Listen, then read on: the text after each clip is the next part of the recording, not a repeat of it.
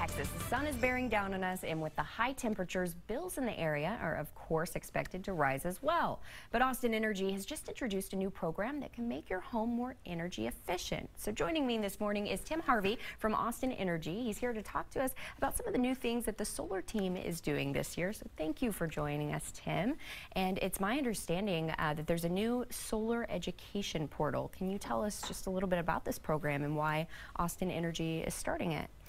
Yeah, so um, the education program helps uh, customers be informed and make wise decisions. Mm -hmm. um, it covers things like um, the rates at which they'll be compensated for their solar production, um, different vocabulary, things about the solar uh, system, how to um, engage the contractors and compare proposals to get the best value that they can. That's great. So why did Austin Energy choose to create this program?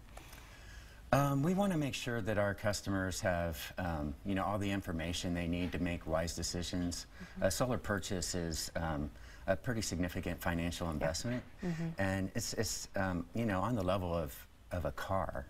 And you wouldn't want to, you know, go onto the lot and just buy the first car that you see. Yeah. You want to, you know, check out um, your options and really be informed just so that you can make good decisions yeah, and, and get the best value out of your purchase. Putting them on your house, definitely. Right. Well, in addition to the course, you're also offering a larger rebate when someone installs solar on a home, right? That's right. Um, currently, we have the Summer Solar Bonus Program. Mm -hmm. uh, typically, the, the um, incentive is $2,500, mm -hmm. but until August 31st, when you select a, a participating solar contractor, um, if they submit the enrollment before August 31st, then you get an extra $1,000. Oh, that's so great. That, that makes a big difference. Yeah. Right.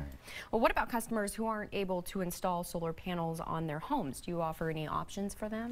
Yeah, we do have options for them. Um, so if you're a renter or um, maybe your home is shaded or you just don't want to make the financial investment, mm -hmm. then um, we have the community solar program, which is really popular and currently fully subscribed.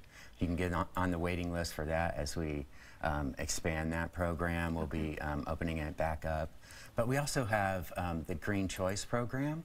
So for just a, a three quarters of a penny more per kilowatt hour, mm -hmm. uh, you can get uh, fully renewable Texas wind energy for oh, um, nice. all of your consumption. Okay. And that's also um, available for uh, commercial programs. And it, it's a different offering for commercial, but we have it for commercial as well. Great. Well, Tim, you're a wealth of information. I appreciate you being here this morning and what you guys are offering to people. So thank you. Thank you. Thanks for having me. Yeah.